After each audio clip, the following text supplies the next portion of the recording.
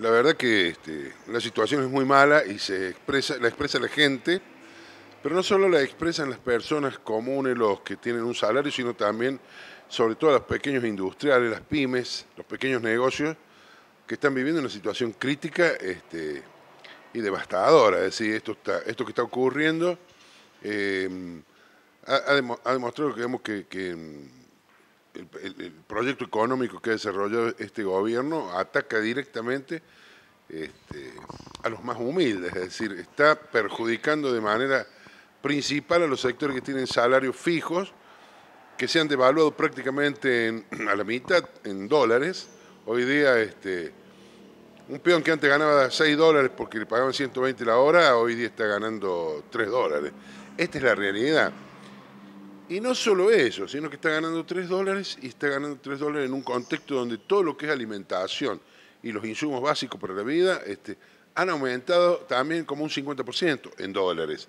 Es decir, que esto se, se, multiplica de una manera exponencial. Y no hay salida. Es decir, y este gobierno ha generado una trampa tan infernal con el masivo endeudamiento, ha generado que el país debe tener una... Este, una permanente eh, fuga de capitales de dólares para poder abonar los servicios de la deuda y la deuda. Mientras tanto, tiene una limitación permanente en cuanto al ingreso de dólares, que es su, principal cuello de botella.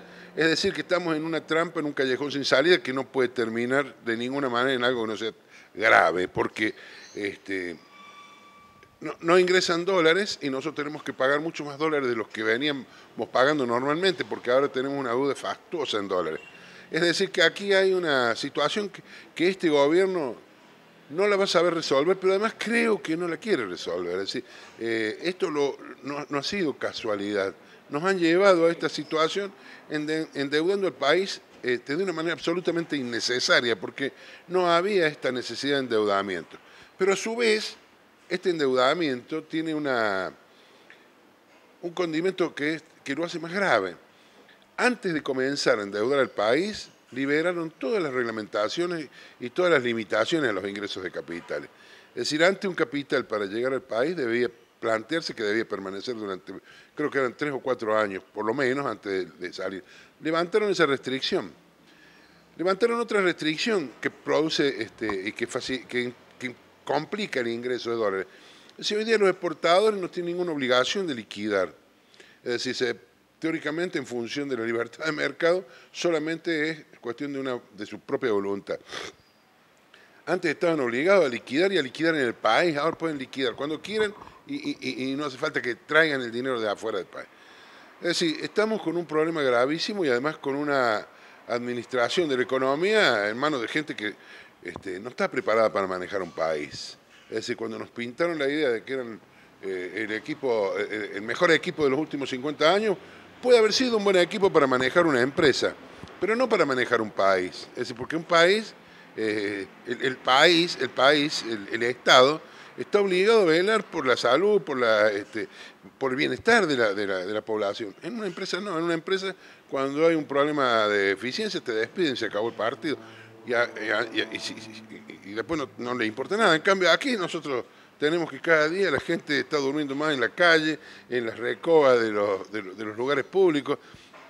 Algo que había dejado de pasar hace años, nuestro país ha vuelto, y ha vuelto con una fuerza este, realmente grave y, es que este, y desalentadora, es decir, porque no hay medidas que uno diga apuntan a resolver el problema.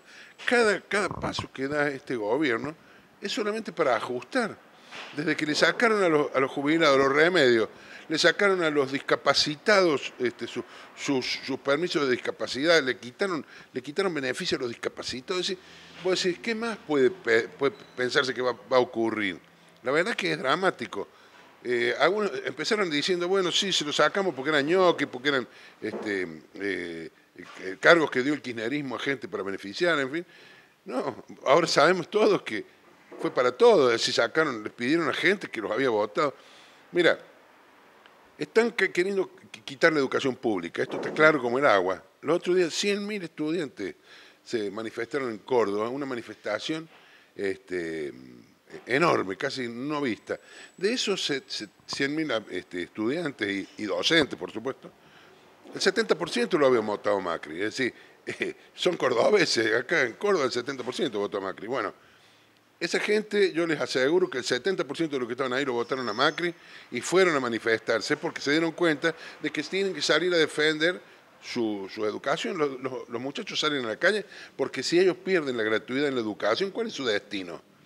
Hoy día ni siquiera es ser empleado de, de planta de cualquier... porque no hay trabajo, encima no hay trabajo. Entonces su destino no es ser profesional es ser un empleo común y no hay puestos de trabajo común en ningún lado.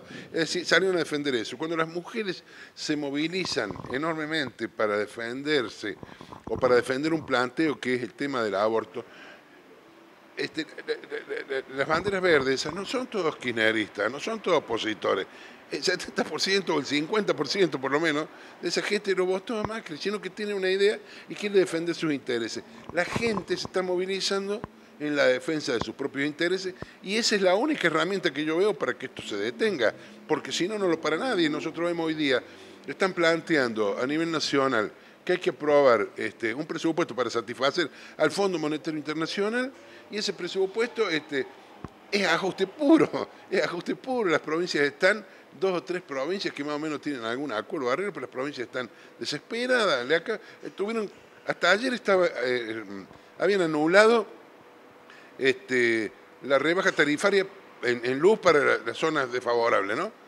Una locura, es decir, todo lo que era este, el subsidio para, para la gente que está en los lugares más complicados del país, un día decidieron quitarlo así de golpe. Bueno, ayer tuvieron que renunciarlo a, esa, dar vuelta marcha atrás otra vez porque si no, este, ya la resistencia iba a ser infernal. Los mismos gobernadores les daba vergüenza a los más amigos de Macri les da vergüenza ya aceptar eso, porque también ellos necesitan que la gente los vote. Hay un montón de gobernadores que están apoyando a Macri y que resulta ser de que hoy día están perdiendo un prestigio social infernal porque la gente los está ligando a, Macri y la gente ve todos los días, todos los días contra lo que digan los diarios, lo que diga Clarín, lo que diga TN, la gente va al supermercado, la gente va a cargar nafta. Hoy día llenar un tanque de nafta es una fantasía y todo contrapuesto contra lo que venía ocurriendo, porque esto venía ocurriendo de otra manera. En la charla anterior que tuvimos al, comienzo de la nota, yo me estaba recordando una situación este, que tiene que ver con esto, es decir, eh, durante 12 años se creció de una manera importante, importante, importante, y no nos endeudamos, es decir, nos desendeudamos, todo lo contrario que está ocurriendo, ¿no? Y fíjate vos que hay un dato que yo me lo olvidaba de decirlo en ese momento, que este. En el 2008, el mundo vivió la crisis internacional más grande de la historia del capitalismo moderno. Y en Argentina ni nos enteramos nosotros. ¿Ustedes se acuerdan cuando había un problemita en México, efecto tequila? Acá se nos venía abajo todo de la economía. Cuando había un problemita en Moscú con el efecto vodka o caipiriña en Brasil, cada vez que el mundo se resfriaba, a nosotros nos daba una neumonía. Bueno, ahora en el mundo se agarró una neumonía y nosotros tuvimos unos leves estornudos en el 2008. Es decir, ¿por qué? Porque había un mercado interno funcionando. Nosotros no hacemos una defensa política, ideológica, sino que yo, yo personalmente lo digo, nosotros necesitamos un sistema productivo que esté basado en el desarrollo del consumo interno. Esto es lo que, la gran contradicción que hay con este proyecto actual. Nosotros planteamos que si vos le incorporabas masa de demanda al mercado, dándole un aumento a los jubilados o incorporando jubilados al sistema, eso producía demanda, producía consumo, producía demanda y activaba la rueda de la producción. Bueno, hoy día eh, es todo lo contrario, le quitan dinero al mercado para poder financiar la fuga de capitales. Yo no sé cómo lo que haya gente que todavía esto no lo vea. Yo lo viví por lo menos tres veces en nuestro país ocurrió. Y hay gente que todavía por una cuestión ideológica, porque la, la yegua, eh, toda la historia está de la grieta, le meten en la cabeza que todo esto es culpa nuestra y, la gente no reacciona, no, no, no, le permite ver la realidad. Este es el problema, bueno, tenemos que resolver esa, esa situación. Pero la situación económica y política es delicada, y social sobre todo.